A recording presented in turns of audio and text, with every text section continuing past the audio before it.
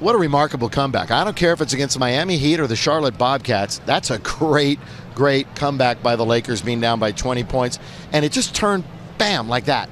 Like, like you flip the switch and a team effort all around for the Lakers. And that's what the basketball to me is one of the epitomes of team play, team effort. Everybody has to do their job. Everybody has to contribute. And you might get certain things from different people. The energy was provided tonight by Jodie Meeks and Earl Clark when the Lakers fell behind by 20. But then all of a sudden, everybody got a taste of that energy, and from there, it was all Lakers. Kobe did not score in the first half. Kobe certainly was Mr. Clutch coming down uh, the stretch.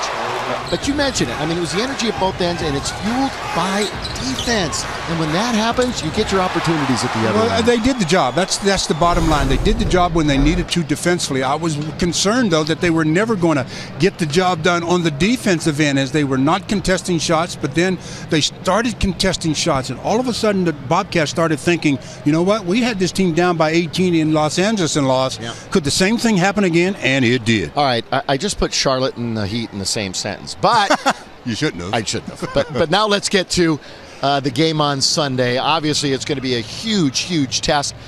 But if you can go in there, play solid, and get a win, what it would be a remarkable trip. Then, then you go back five and two, Well, and that's what you were looking at right at the beginning. Amazing how fast you can flip the switch, man! You're not even going to let me enjoy this win tonight. You're already talking about the well, Heat on let's look Sunday. ahead. What do you think? Let's look ahead to Uh, Sunday because we're going to be watching it with everybody Yeah, else. Sunday's going to be a very difficult task for the Lakers because of one thing.